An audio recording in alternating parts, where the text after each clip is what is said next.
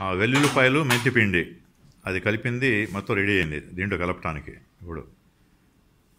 This is garlic and methi combination